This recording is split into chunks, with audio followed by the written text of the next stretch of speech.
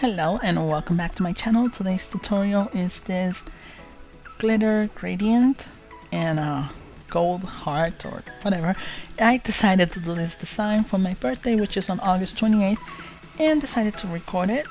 It's kind of long but I went through the whole process and I really hope that you like it. So let's get to it.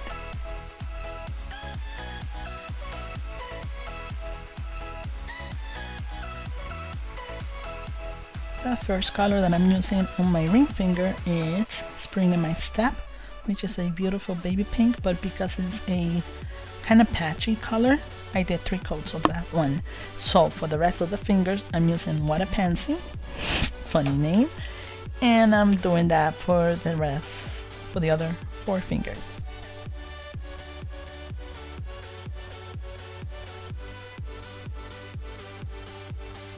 And I'm applying the last coat for every single nail.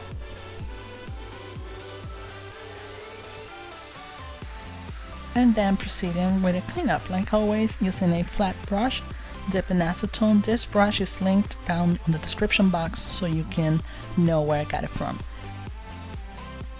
And just clean up very well close to the skin and cuticle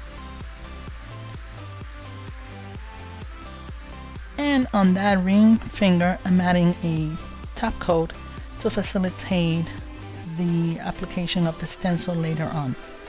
Now for the gradient I'm using this makeup eyeshadow applicator or you can use a makeup sponge whatever your preference but because I want more control and when I want to see what I'm doing I'm going for the makeup eyeshadow applicator.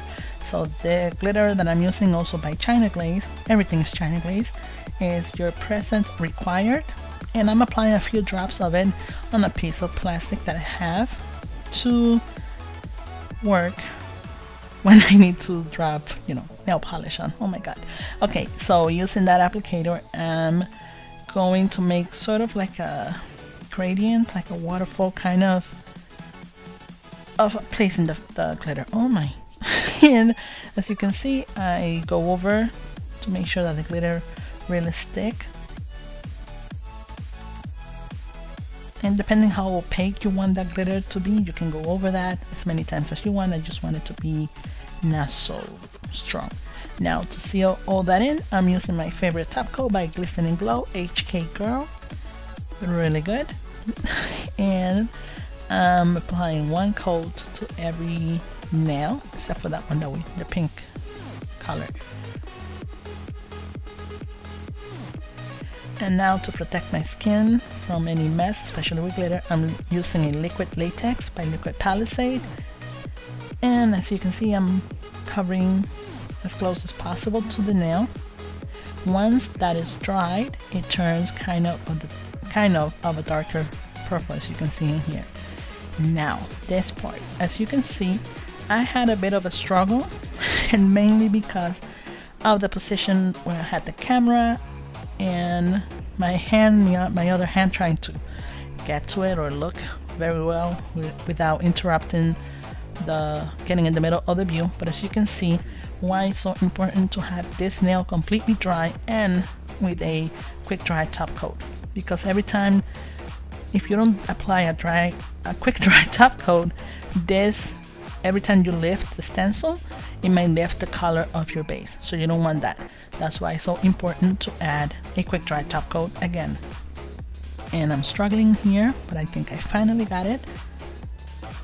Using a pair of tweezers. It's better to use a pair of tweezers so you can see better because if you use it in your other hand it may be hard to have a good view of what you're doing. And just making sure everything is really stuck together I'm using my final color which is Mingle with Kringle. This is from their um, Christmas collection. And now using a makeup sponge, I'm going to add a bit of the nail polish and dab it on my nail twice. I reapply the nail polish on the sponge to make it more opaque. As you can see in there. Then quickly after finishing that with my pair of tweezers, I'm going to lift that stencil. Don't let it dry because otherwise it will mess up the design. and that's it for that part very easy now I'm going to proceed to remove the liquid latex very carefully again so with the tweezers you don't hit your nail and damage your design and as you can see no mess. Now I'm applying my top coat again to seal everything in and that's it. I really hope that you enjoyed this. Thumbs up if you liked it. Comment if you have any question and I'll be talking to you soon. Thank you for watching. Bye